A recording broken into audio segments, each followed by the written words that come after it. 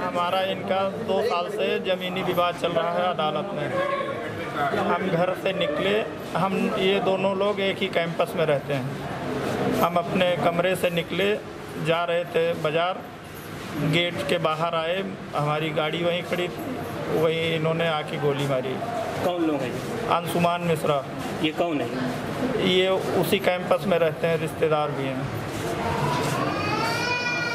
स्थिति ठीक है वो आपसी मुठभेड़ में उनको गोली लगी है जो कि उनको उनके एब्डोमेन से छूते हुए निकली है।